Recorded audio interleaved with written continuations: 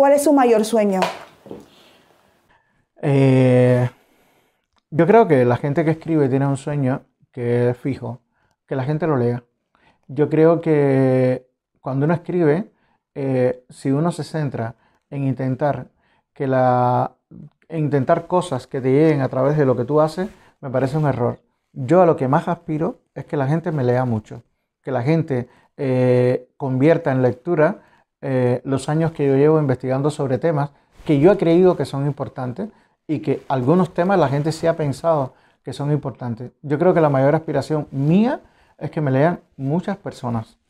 Y yo creo que si la gente logra interesarse por las cosas que yo escribo, eso a mí me hará brutalmente feliz.